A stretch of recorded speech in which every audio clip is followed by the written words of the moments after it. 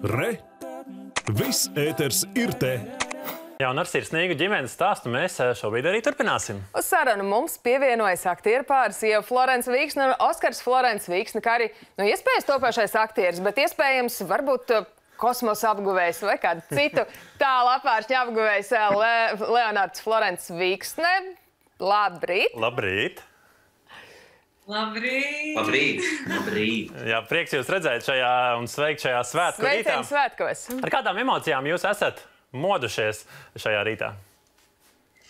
Nu, sākumā jau mēs gribam teikt uh, sveicienus svētkos visai Latvijai, visiem, visiem, kas uh, nu, šodien ceļās agri un uh, bauda rīta kafijas, tā kā mēs. Sveiciens arī jums. Un, uh, sajūtas ir uh, ļoti labas un tiešām svētku sajūtas, jo mums ir uh, pirmie, pirmie valsts svētki, 4. maija. Mums visi svētki šobrīd ir pirmie.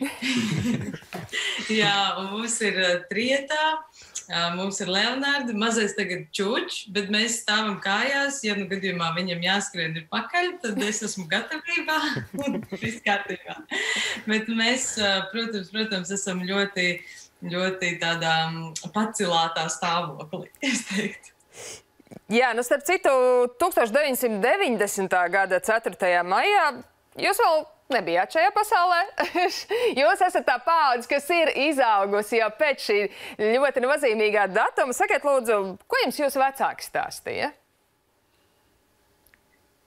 Nu, ko tas stāstīja? Ko mums stāsta mūsu vecāki? Stāstīja, Viņi noteikti novērtē visu to, kas mums ir dots, un viņi mums stāsta, lai mēs būtu vienmēr eh, pateicīgi par to, kas mums ir, kur mēs dzīvojam, kādā valstī mēs dzīvojam, ka mēs brīvā valstī dzīvojam. Un uh, to arī mēs katru gadu arī ceļam godā, arī mūsu ģimenē jaunajā. Jā. Mēs esam tie, kas ļoti piekop šo tradīciju, vienmēr valsts svētkus sagaidīt kopā un aicinām vienmēr pie sevis vecākus un vecvecākus. Šis gads ir iespējams izņēmums, mēs vairāk sazvanīsimies un svinēsim tādā šaurākā lokā, bet jā, šī brīvības garša ir ļoti liela atšķirība starp to laiku, kad vecākiem mūsu tāda varbūt nebija. Un tad arī šīs pamatvērtības mums māca, ka mums jābūt pateicīgiem par to, ka mēs esam brīvā valstī, ka mēs varam darīt, domāt un runāt, ko mēs vēlamies. Jā, kamēr mazais Leonards vēl čuč. Kas būs tie vārdi, kas būs tās atziņas, ko jūs eh, mācīsiet savam bērnam, tad, kad jau būs viņš paaugsies un eh, būs gatavs uzklausīt plašo informāciju par visu šo pasauli un arī par šo dienu, par 4. māju? Mums, kā, kā jau teicu, kā mēs ar dziesmu sākām, tā mēs ar dziesmu ejam gulēt. Un dziesma ir kas tāds, kas ir šobrīd mūsu pamatā. Arī es, augot, piemēram, nodarbojos ar folkloru, līdz ar to tagad man kā mammai nāk ārā visas šīs zemapziņas bagāžu. Man ir tādas dziesmas, patiesībā zinu tik daudz latviešu skaistas tautas dziesmas, ko es Leonardam dziedu vakaros no rītiem. Un īstenībā man reiz jautāja viena draudzene, kādu mūziku mēs uh, dodam Leonardam klausīties. Es teicu, ka mēs viņam vienkārši dziedam, kaut vai izdomājam dziesmas, bet mēs viņam dziedam. Un, uh, tur arī ir šī sakne valodā, šī sakne kaut kādā skaņā.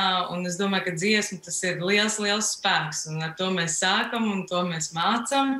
Kā būs tālāk, to mēs redzēsim. Bet noteikti, ka ģimenes tradīcijas mēs ļoti, ļoti godā turam un piekopjam. Un, un, un es domāju, ka Leonards būs ļoti laimīgs bērns ar ļoti daudz draugiem. Viņam būs tā kuplā ģimene. Ieva, Oskar, jūs novēlējums šajos svētkos eh, jaunajām ģimenēm, mūsu skatītājiem? Noteikti mīlestība pāri visam, veselību, ticību un tiešām arī pateicību katrai dienai par to, kas mums ir dots un par to, ko mums ir jānovērtē.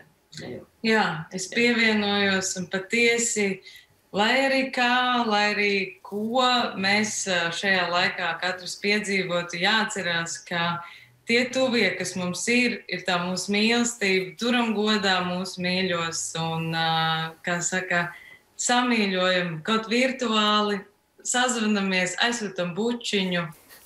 padomājam labas domas, un tad jau viss būs labi.